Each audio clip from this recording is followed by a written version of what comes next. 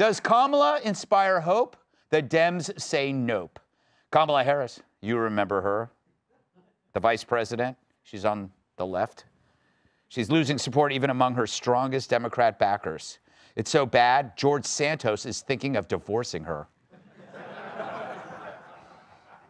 As the New York Times points out, her allies are tired of waiting for her to define her vice presidency.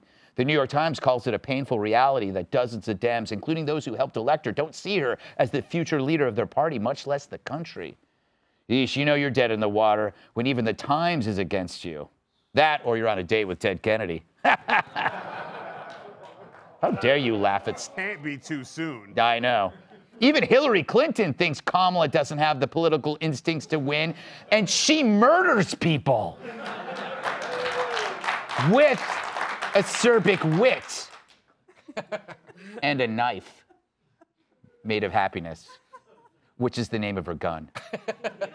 So I'd listen to her for sure. Where was I? For more on all of this, we've got a surprise special guest joining me live from Washington, Vice President Kamala Harris. hello, hello, Greg.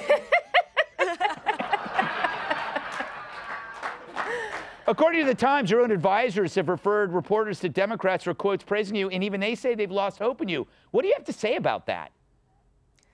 Well, in order to galvanize mm-hmm. everything that we have already discussed and everything that we've already brought down to America, okay, I think we need to understand that everything that we have uncovered and unburdened, we will continue to uncover and unburden even more mm-hmm. going further.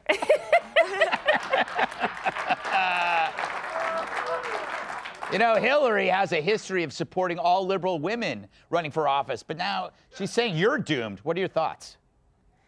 Well, you know, when it comes to Hillary, and you know, I can make a list and send it to her on her private email, but I think she's well aware of everything that we have tried to bring and try to undo more than what she has done and accomplished as her time as First Lady.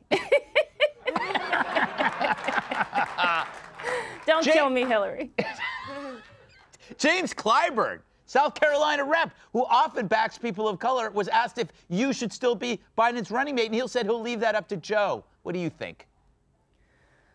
Look, I mean, look, we've galvanized a lot with electricity. And uh, look at how much we've done with yellow school buses. Okay, think about the electric school buses for all the children. And they know that everything that we have unburdened we will soon burden even further, despite the fact that we have yet to do anything positive for the country and bring it to its knees. do you, uh, last question, were you jealous when you saw your husband make out with Dr. Jill at the State of the Union? That was so great. Joe's half dead. Let her live. well, Thank you, Vice President Kamala Harris. You're welcome Thank back you, anytime. Thank you, America.